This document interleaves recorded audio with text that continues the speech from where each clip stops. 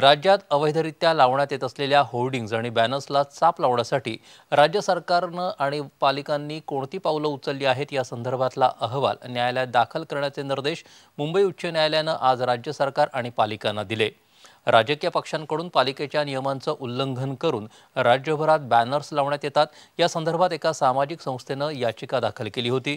त्यावर आज उच्च न्यायालयाचे मुख्य न्यायाधीश दीपांकर दत्ता आणि न्यायाधीश व्ही जी बिष्ट यांच्या खंडपीठानं सुनावणी केली.